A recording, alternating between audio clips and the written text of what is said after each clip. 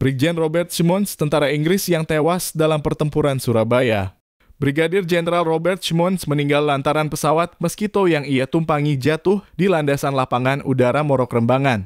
Kabar yang beredar mengatakan pesawat itu jatuh karena ditembaki oleh pasukan Arek Surabaya. Saat itu Gomon melihat pesawat Mosquito yang lewat dan menembaknya dengan meriam bekas tentara Jepang yang ia dapat dari gudang senjata Don Bosco. Pesawat itu terbakar dan jatuh di landasan pacu lapangan udara Moro Kembangan. Namun, pihak Inggris membantah kabar tersebut. Mayor Jenderal A.C. Mansur, Panglima Tentara Inggris di Jawa Timur, menyatakan bahwa Schmons meninggal akibat kecelakaan, bukan karena ditembak.